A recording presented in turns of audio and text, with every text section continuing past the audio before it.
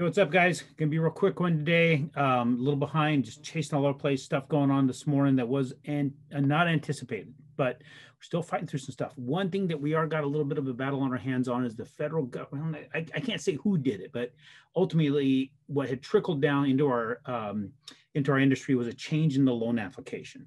The loan application before was a you know just a five page document. A lot of it was just, and some of it was uh, that was just extra room for information. Now it's a nine page document. So, and great, a lot more info, a lot more detail.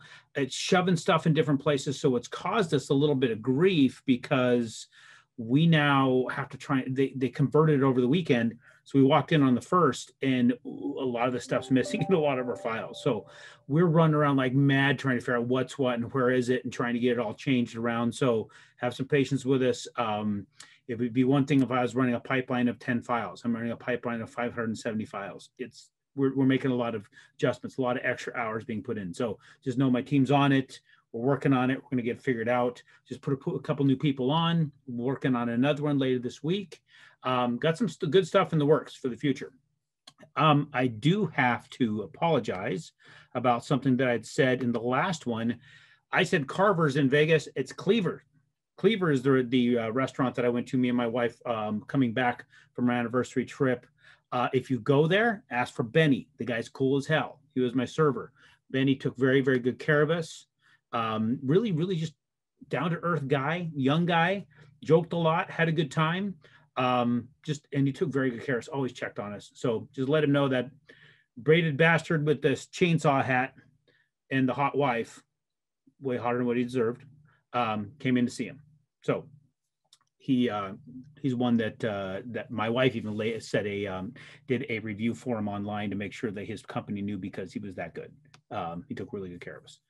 So uh, on to market. So we're still crawling out of the hole uh, quite a bit.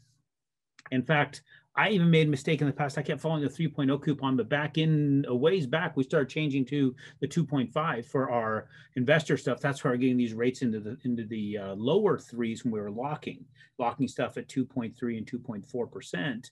Excuse me, 3.4 and uh, 3.3 percent.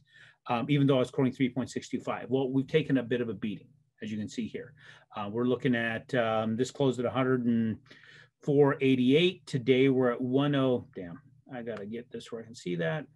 Today we're at uh, 103.75. That's hundred and was what is that? 114 basis points 113 basis points different? That's a that's a pretty big gap right? So when i could have gotten say a let's say a 3.5 before a par it now would cost a hundred uh, one a little over a point to get the exact same. Now it's not quite there. It's probably about 3.6 to 3.7 at par right now when I'm guessing, you know, depending upon what it is, right? This is like a 20% down, 30 year fixed, 740 plus credit score in a certain price range, right? Lower price ranges, higher price ranges, price different. Every $10,000 that we have in loan amount, if I remember correctly, it changes to a whole different pricing grid. So this is just like a broad estimate of what you would possibly get and what that cost might be. So just know it's not the super sexy stuff I was getting a little while ago, but we're still pretty close to the same line.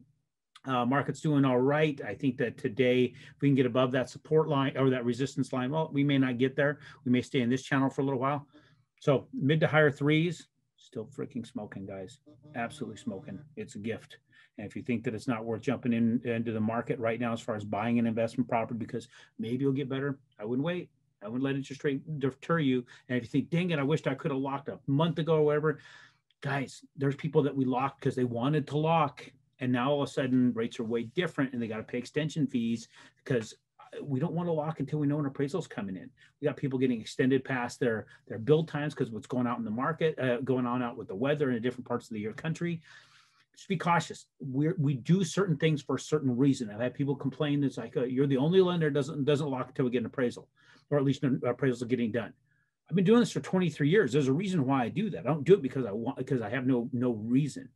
I have seen more reasons to wait than to jump on it. Just to let you know, I've seen way more reasons to hold off on that lock. So we should talk, continue to talk, keep the communication open, but we're still in awesome times. I can't I can't stress that enough. I still got uh, properties, in fact, property right behind me 6.99% interest rate. I don't care. It's still cash flowing like mad for me. Look how badass this place is. So thanks, guys. Talk to you again real soon.